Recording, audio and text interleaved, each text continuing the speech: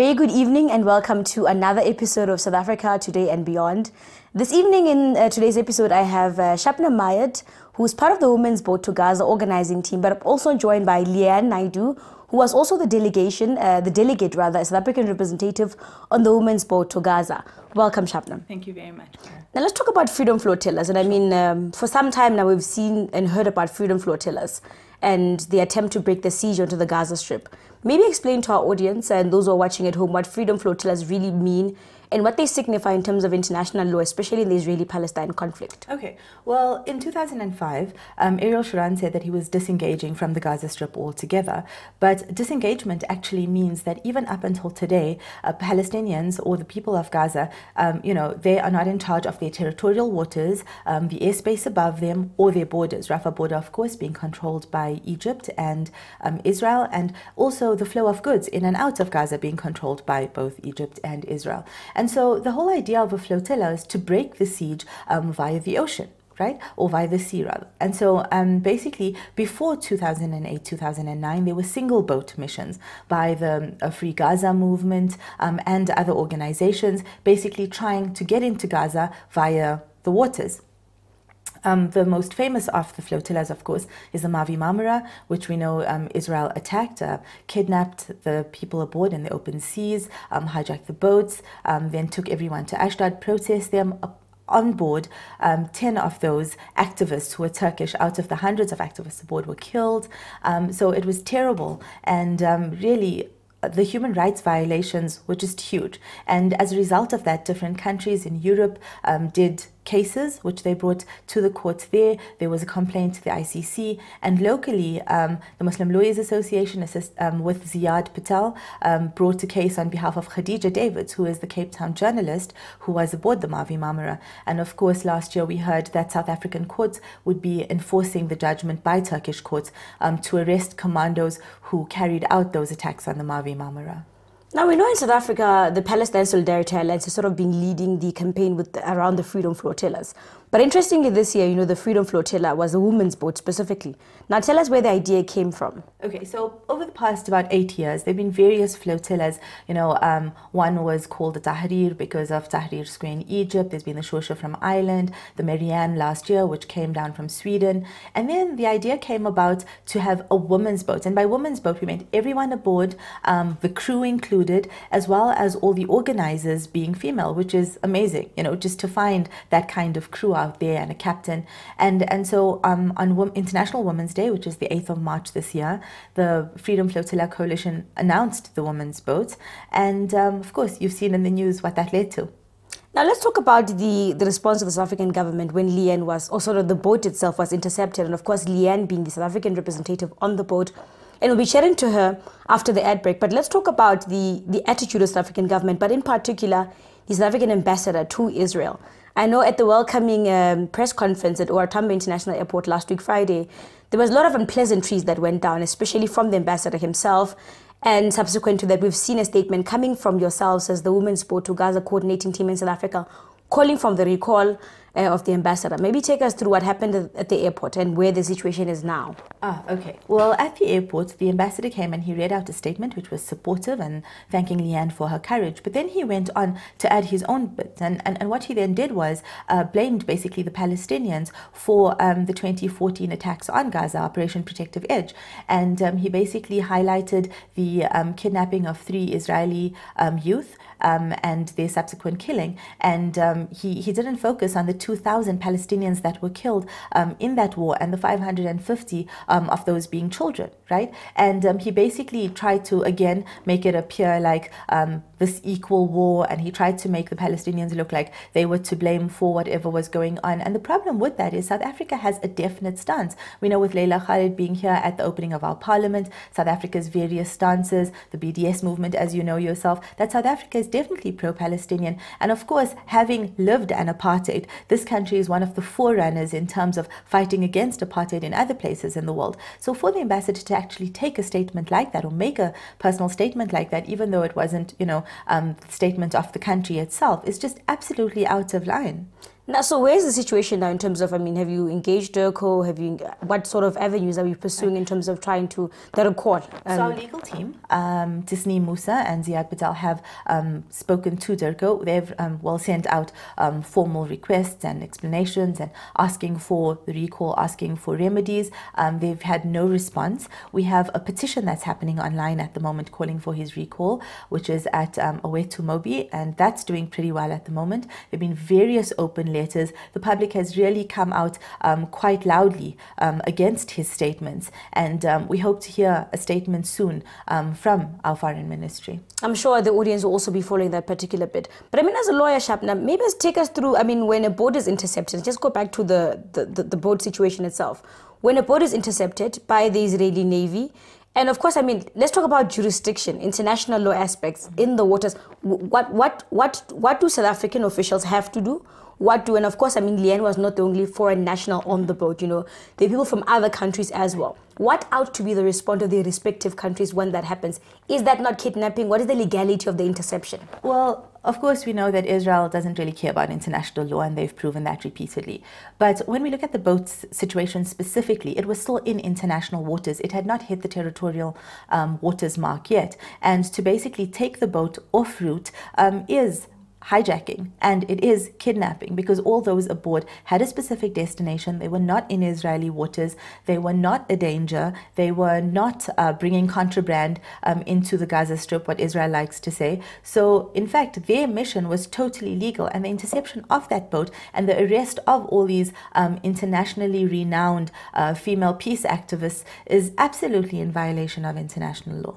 So now let's talk about the, you talk about the territorial. So beyond the international waters, they then get into whose territory? Nautical miles. Well, it should be Gaza's waters, right? It's not Israel's waters, but of course, um, Israel, being a law unto itself and an occupation, um, an occupation government, um, has actually decided that you know these are their waters and they will control. And so it was interesting because previous flotillas have made it past the 100 nautical mile line, and somewhere between the 100 nautical line mile and the 70 nautical mile line, they've been intercepted.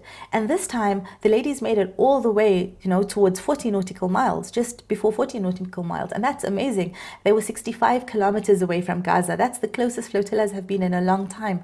In fact, um, as Leanne will tell you later, the people of Gaza were actually waiting for them, and there was a huge uh, welcoming reception planned. And it was just absolutely unfortunate because at the end of the day, these women were bringing a message of peace, and their whole boat was about highlighting um, women's contribution to resistance and how women carry the resistance, whether that's you know out in the open or people don't know about it. The reality reality is is that when we look at a resistance, when we look at these movements, it is always women who ensure that these these movements continue. Absolutely. Now, will there be any sort of legal steps taken to maybe, I mean, the the, the issues that you're citing in terms of the involvement of the Israeli Navy in terms of the interception? Will there be any um, legal avenues pursued against the Israeli government? Well, our legal team is looking at that, and of course, we have legal teams in all the countries, um, 12, 10 to 12 countries where the women were from. So different legal teams will obviously be looking at that, and in the coming weeks, we'll hear about how they plan to take it forward. And of course, the boat, um, you know, to ask for the boat back basically through legal avenues, not ask, but oh, fight so for the boat back. They have the boat still. Yes, boats are always confiscated. And so recently, the Marianne, which was the Swedish boat, um, what the case was won, and that boat needs to be returned. And so I think that there is a chance that we will be um, going down the same road with this one. Okay, so now where to from here in terms of the Freedom Flotilla coalition, I think generally, and then maybe the next flotillas? What are some of the ideas that are coming up, if any, or are you just um, taking it easy for now? Well, there will be further um, flotillas, of course, because the Flotilla, Freedom Flotilla Coalition has said that they will continue trying to break the siege via sea. And there's been amazing, amazing support from the people of Gaza it, itself. And so there will be flotillas coming. I don't think there'll be women's flotillas, there may be, um, but we're definitely looking at flotillas in the future. So watch the space. I mean, you guys have done wonderful workshop, and I'm really the South African team as well. But I think internationally as well, you've served the international committee uh, in various committees within the broader Women's Boat to Gaza committee. But um, if what people want to get involved um, in future uh, Freedom us what do they need to do? Well, we have actually. I'm, I'm glad you mentioned that because we have an amazing South African women's team who has worked tirelessly, tirelessly for a year to get all of this to happen. And um, so our we have a Facebook page. Women's Boat to Gaza South Africa, and our spokesperson is Zenat Adam. You can also get hold of us via the Palestine Solidarity Alliance, which is Johannesburg based. Um, so if you want to come around and volunteer, we've had amazing volunteers this year. We hope to see more of them in the future. Sure, definitely. Thank you so much, Shabnam, for coming Thank in to the much. show. And after the ad break, we're joined by Leah Naidu, who will take us through her experience on the uh, women's boat to Gaza, but also talk about uh, the interception and take us through what happened on the boat when the Israeli Navy intercepted Zaytuna.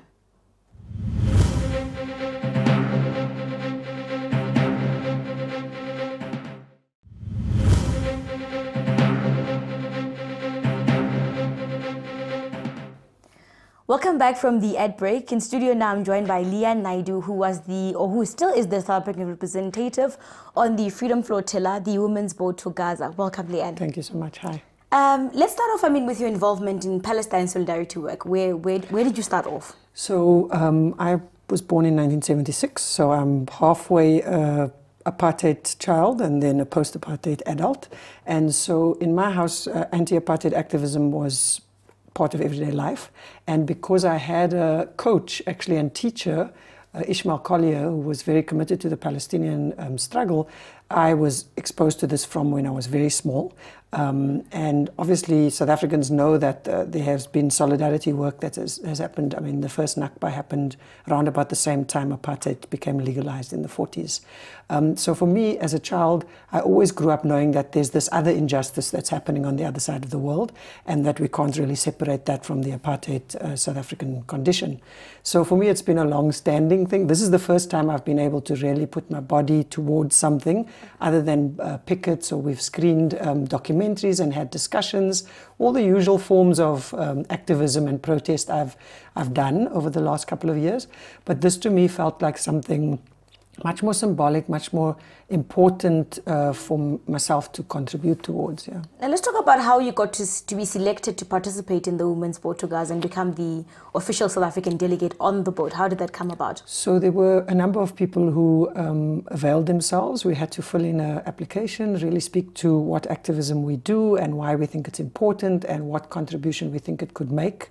Um, and so it was a, I think, an open process. I don't know who else um, applied, but I do know that in the end they, they did invite me, and I'm really, really grateful because I learned a lot, not only uh, being in an Israeli prison and in that whole unjust system, uh, but also being in solidarity with women from around the world who are who were willing to take two weeks out of their lives uh, to contribute to the flotilla, but many of them also doing a whole range of amazing things from the Malaysian doctor who could pick up her satellite phone from the boat and call an office in the Gaza Strip who work on medical um, issues. Um, so it was amazing to be on a boat for nine days, which in itself was a challenge. I mean, it wasn't uh, as people, as maybe naively I imagined, a flat, beautiful Mediterranean with sun and easy sailing. there wasn't. So the solidarity uh, of women who hadn't sailed, some women over 70, most women over, I mean, I was one of the youngest people on the boat in very trying conditions to say, we're going to do this over nine days because it's really important that, for us to sacrifice as well. So the solidarity on the boat was a huge learning experience. Being able to hear from women from around the world about the struggles in their countries, a lot not dissimilar from what we're struggling against. So it seems we're in a world moment where you have the rise of the conservative right, we have the Donald Trumps, we have all of this stuff happening, we have the constitutional coup in Brazil, and we have the continued occupation and colonization of Palestine. Now let's talk about the actual experience on the boat until yeah. the interception point by the Israeli Navy. Take us through that. So it took nine days. So if people can imagine, that's a long time. I'm, I don't know why I thought three, four days and we'll be there. I've just been on a ferry to Robben Island. That was not a that was enough. experience. That was enough. so the thing is that the first day, the first hour when we left, it was fantastic. The, the ambassador, the Palestinian ambassador to, to, Italy came and said goodbye and had a meeting with us. Uh, the mayor was there. A whole range of students came, people who've been working uh, with migrants and refugees. Everyone who is active came and said goodbye to us on the, and the day that we sailed, it was flat. And we also realized once we were out and started to ask more questions about sailing, and about the ocean, about the Mediterranean, we realized that actually this is a place where many, many people lose their lives. Um, not only be, not because of weather conditions necessarily, but because they are in desperate situations and they're trying to flee to other places, uh, often in, in boats that are not um, well equipped with with staff who are not well equipped, well equipped, no life jackets, etc. That was not our situation. This was a wild Paran mission. The boat was an, an old one, so it wasn't uh, fancy. But the minute we left was calm we had a conversation. It was a beautiful leaving. And then, about two hours in, we got out into the real sea, uh-huh. and the water was choppy, and people started throwing up. All of us were nauseous, even as we were putting patches and, and taking medication. So, the first two, three days was really hectic in the sense that we were we were understanding that we needed to get through the nausea which is getting acclimatized to our new environment which is this boat that's going like this all the time um, we also had two or three things that were really difficult for me personally and probably for other people where we had something in our rigging break and we had to have the make the decision do we go ahead with this broken thing and try and fix it at sea? Do we turn back? What does it mean for the mission? Who makes that decision? So we collectively had to go through a lot in the 9 days uh, prior to getting there. We all did get our sea legs and then what we started doing was preparing for the possibility. So the Israeli occupation forces respond differently depending on the situation. We've heard already about the, the, um, the attack and killing of activists in 2010. We were a fairly high profile boat. We were also very clear that we were going peacefully. We were very clear that we were not taking humanitarian aid or money because previous flotillas who did take that, when they were intercepted, these, these things went to the soldiers as opposed to going to the people in occupied Gaza that really needed it. So we went with a message of solidarity and hope and peace. And we were really hopeful that no military in the world, nobody in the world would want to stop uh, anyone taking a message of peace and solidarity, but clearly the Israeli occupation forces didn't want us to get there. So now, Leanne, quickly take us through the interception point when the Israeli Navy got onto and sort of captured and took, took over, and of course up until the, the Israeli prison. So, you... so we were 100 miles out on the Wednesday morning at sunrise. 100 miles from Gaza meant 20 hours of sailing, so it's not like 100 kilometers you're going to get there in an hour, so it was still a whole day's worth of travel. And we were very nervous from this point because we understood that previous flotillas, this was the area where they would start to arrest you or to intercept you. We were counting down, we got to 50s, you know, then we got into under the 50s and we were like, okay, maybe there's some we'll compassion and understanding on the other end and they're going to let us go. We also knew that people were gathering on the shores, that we'd been speaking to uh, humanitarian organizations, women's organizations, educational organizations to say, Come and meet us. We want to bring this message. We want to be in conversation with you. Then, at about two, three o'clock in the afternoon, we see the first military ship. We see a ship on the horizon. The, ca- the captain takes out the binoculars. It's clear that it is a military ship. Then we see another one on the other side. We see one behind. Now we have three huge military ships for our 15 meter long yacht with 13 women, unarmed, not even with money or supplies on board. The, then the, there's a longish conversation. I really don't know how long. It was a very stressful time because when you're in the middle of three warships and you, you know that the extreme and the sense of surrounding the surrounding but also the, no, the the notion that we've seen videos of how the Israeli occupation forces treated treats people in in occupied Palestine how they've treated flotillas in the past so it's a really nerve-wracking time the captain is on the radio talking to the navy who are now saying uh, we we, we understand that you want to do this thing, but you are not allowed to do this because there is a, um, this would be illegal. And we're having this conversation through our captain with, with them saying, listen, we don't believe that this is a legal blockade. This is a humanitarian crisis. We are going with a message of solidarity. We are not going to be stopped in. A, we are unarmed. We are non-violent, etc. So this goes on and on. And they try to convince us by saying, we'll bring fast boats. You can get on our boats. We'll take your boat to Ashdod. Let's go. We will usher you there. We'll be alongside you. We'll, they tried to get us to, to, to divert, and they used all means possible in terms of verbal means. We were clear that we were not going to do that. They then said, well, we're going to have to, by force, stop you. And at that point, everyone really does have a whole range of images in their head because the, what force the Israeli occupation forces use is extreme. It can be, it, there's a continuum. So we're worried about what is this force. They then send these Zodiac boats, which are about the size of our boat, maybe a little bit smaller. They look like they belong in a kind of war movie where they've got guns and lasers and, and about 15 people on soldiers on board. Two of them come out and we see them coming quickly on the horizon. We decide to sit on deck, all of us, so that there's no one under deck. We are open and saying, Yeah, you can search us, you can look. We've got nothing that's dangerous, um, nothing even humanitarian. Sure. They then pull up alongside us, and eight soldiers get on board four women, four men. Uh, they immediately start searching the boat as if there's something they don't trust what we've said.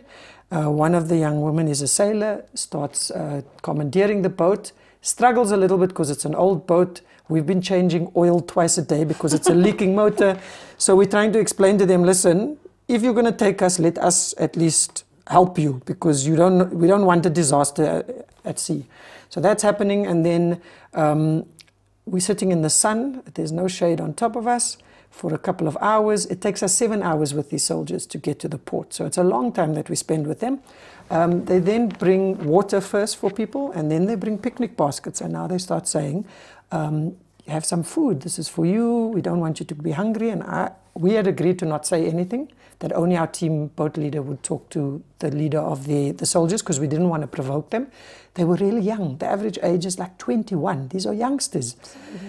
I mean, it's devastating that a country would do that to, uh, to their young people, um, to send them, to force them into a military operation that is uh, holding down an occupation. That's a violent situation because you're literally suppressing a people and having to, to maintain that, which we know under apartheid was a difficult thing for, for, for the apartheid state to do and very um, disastrous for people on all ends, in particular the people being oppressed.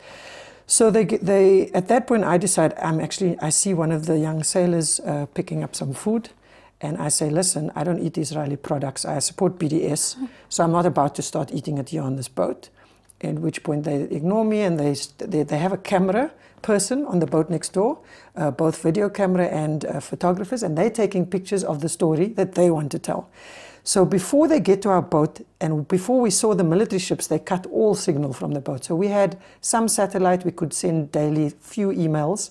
That was completely cut before we saw the military ship. So there's this, this, there's this regime of military might, but there's also this regime of controlling communication. So every image that comes off that boat is going to come from the Israeli occupation forces, and so they're going to tell the story they want. To. And this is powerful, right? So guns are powerful, but the story you tell is powerful as Absolutely. well. We're running out of time, Leanne, but I really want you to do, take our viewers through your experience in the prison and what yeah. that really meant for you in closing. Okay, so in closing, um, I prepared myself for uh, soldiers and a system that was going to be brutal, that was going to be aggressive towards me. They clearly had a strategy to not do that.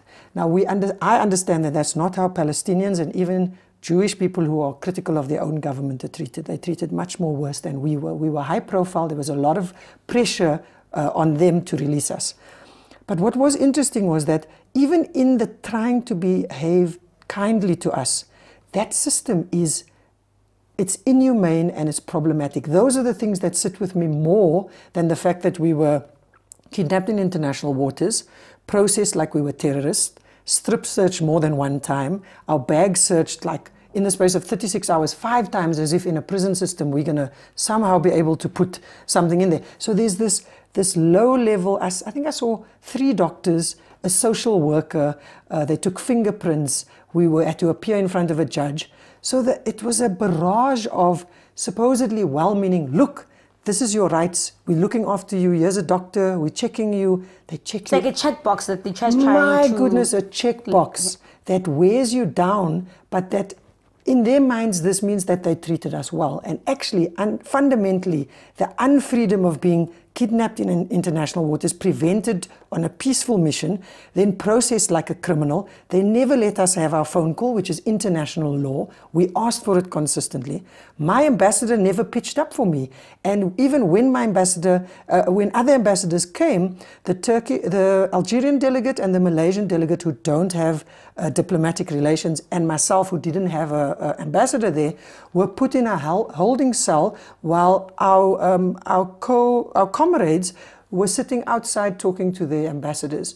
We said, But why are you locking us up? They said, Why are you locking these people up? And they would not hear. So we had to sit there. And in that moment, um, the Algerian delegate said to me, Yes, clearly they treat us differently because they see we're Muslim and maybe because we're brown and we're not American or whatever. Mm-hmm. But this is in this moment, the three of us are really close to Palestinians and to Palestine because this is the, the way that people are treated. So, I mean, the, the, the entire experience of kidnap, uh, prison, and then detention center at the airport, getting on a plane and having my passport withheld from me until I arrived in South Africa, all of this was to try and uh, uh, make us feel like this was something we weren't going to do again. But I would absolutely say to people if they want to experience the oppression, even those South Africans who, were, who, uh, who grew up under apartheid and now in post apartheid, we have no idea what's going on in Palestine. We really need to make these missions happen more, more often. I would be prepared to go again, but I would give up my place for someone else who wants to really go and see how bad things are there. It cannot be that in 2016 uh, uh, a state is oppressing a people in that way. Sure. Thank you so much, Leanne, for sharing that information and your experience, I think. And also encouraging people to get involved in the Freedom Flotilla coalitions, but I think also generally the Palestine Solidarity Movement, Definitely. our experiences are so similar. Um, of course, I mean, there's a need for more activism continuously on this issue. Thank you so much for it's coming onto the show. Thank you so much for joining us on this evening's episode, and have a good evening.